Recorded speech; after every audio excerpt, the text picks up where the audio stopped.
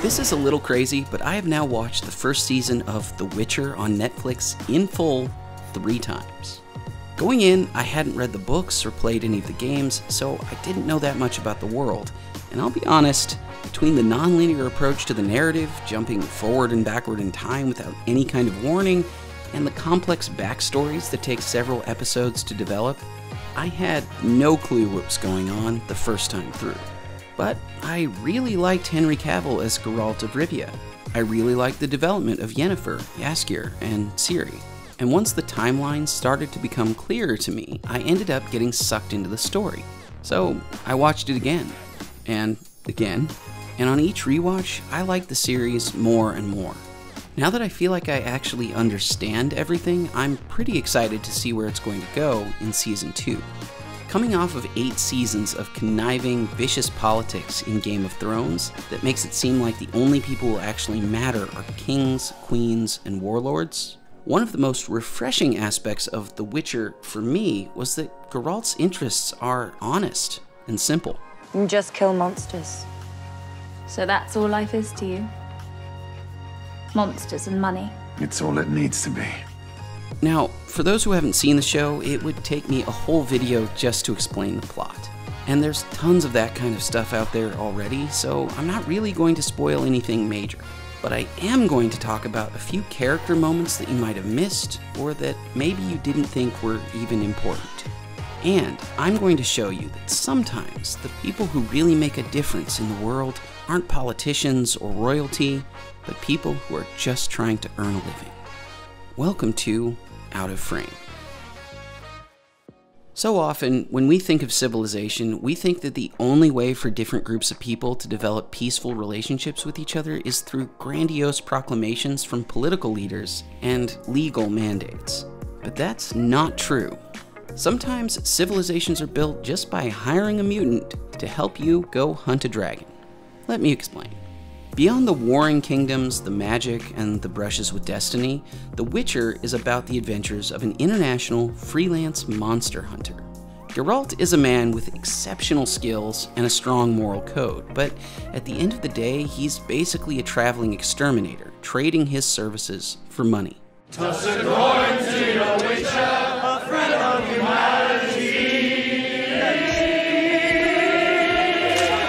Let's say your town is overrun by ghouls, or maybe your daughter got cursed and goes on nightly rampages killing townsfolk.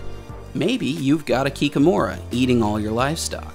What you need is a skilled professional to help you deal with those problems. So, you call a Witcher.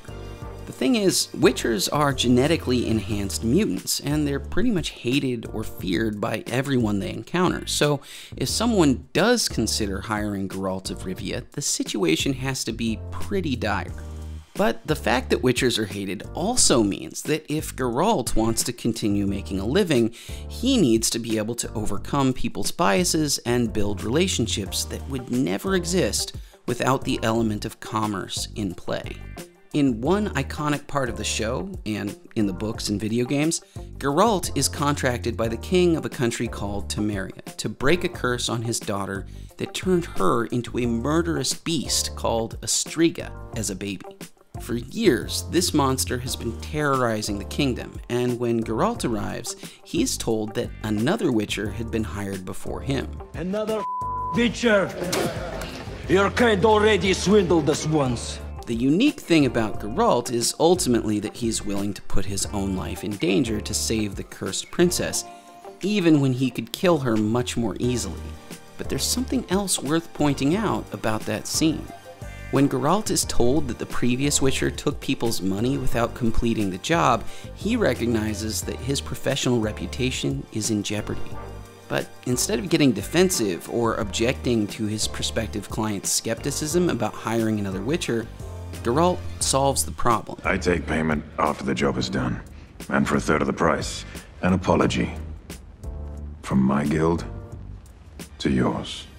It's a small moment in the show that you probably didn't pay much attention to, but this is a much more interesting scene if you stop and think about it. Although in most ways Geralt is physically superior to the humans he's working with, his kind are a generally mistrusted minority who are always starting their interactions with other people at a disadvantage. The humans are already biased against Geralt before he arrives. They believe that the previous Witcher ran away with their money, but even that was a story made up by the king to cover up the fact that he was killed by the cursed child. Neither they nor Geralt knew that at the beginning, but unfair treatment aside, the truth is both entrepreneurs and their customers have to deal with all kinds of risks and unknowns all the time. And yet, in order for everyone to get what they want, both parties have to find a way to trust each other. In this case, Geralt bridges the trust gap by offering a lower price and better guarantees on his work. That reduces the barrier to accept the risk and make the deal. And when he defeats the Striga without killing her, Geralt gets paid well for his services, proving that the extension of trust was ultimately well placed on both sides.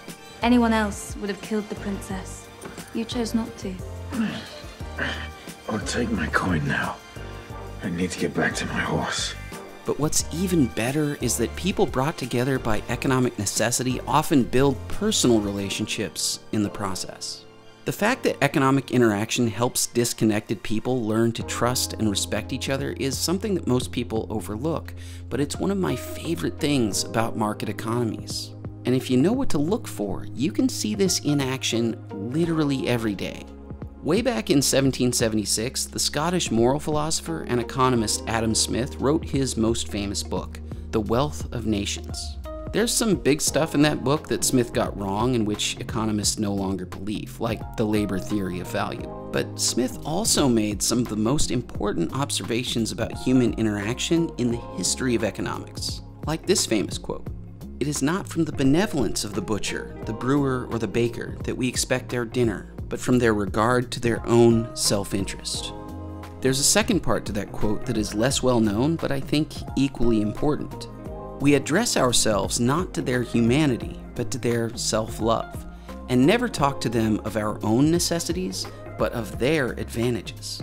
You can see this play out a bunch of times in The Witcher.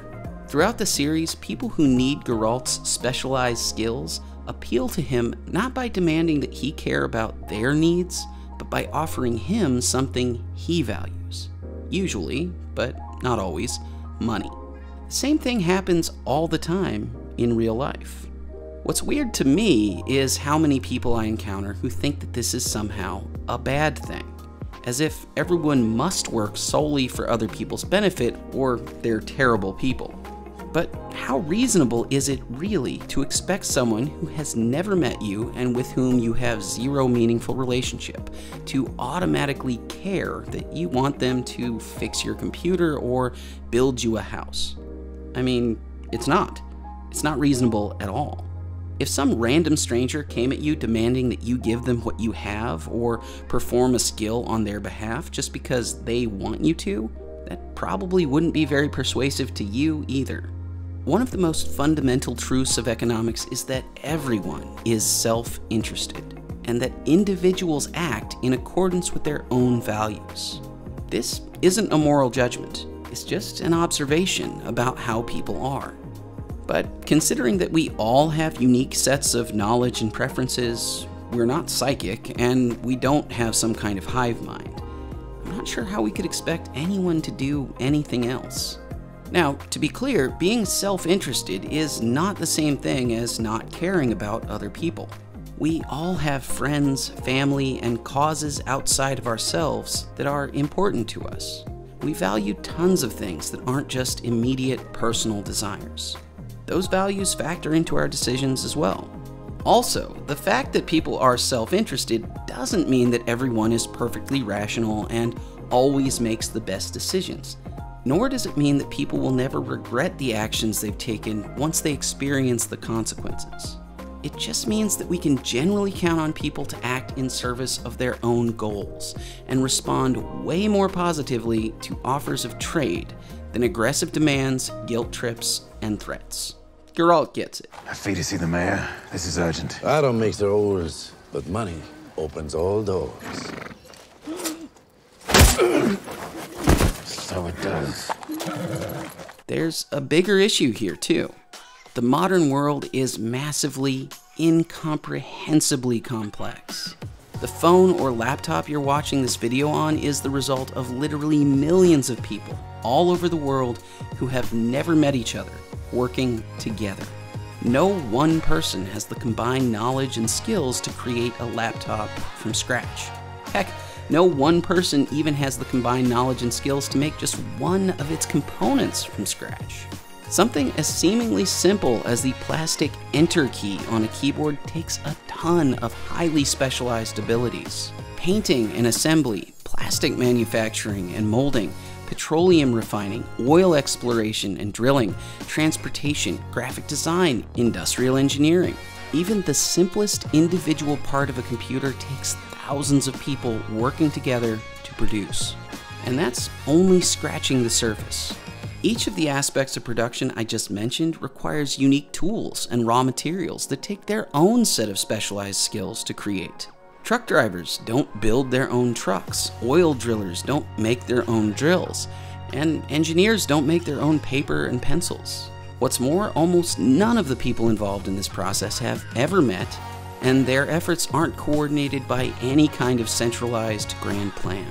In fact, all this economic organization happens spontaneously, simply because everyone involved is, as Adam Smith correctly observed, pursuing their own self interest.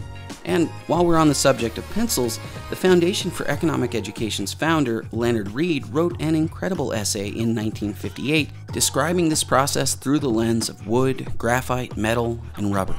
He wrote, I pencil am a complex combination of miracles a tree, zinc, copper, graphite, and so on. But to these miracles, which manifest themselves in nature, an even more extraordinary miracle has been added the configuration of creative human energies, millions of tiny know hows, configurating naturally and spontaneously in response to human necessity and desire, and in the absence of any human masterminding. This is an amazing perspective, but I would take it even a step farther.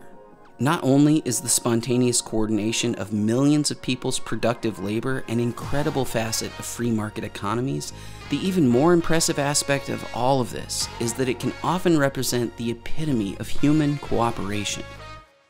History is filled with all kinds of horrible atrocities, and most have been a consequence of tribalism, the worst perpetrated by powerful governments. People with different cultures, languages, and physical appearance have gone to war with each other, enslaved each other, and taken what they wanted from each other through violence for tens of thousands of years. Even in The Witcher, a huge part of the overall plot revolves around exactly this kind of warfare. Nilfgaardian kings don't remain kings for long. Who will take the usurper's crown? You? How long will you last? A year? A month? A day?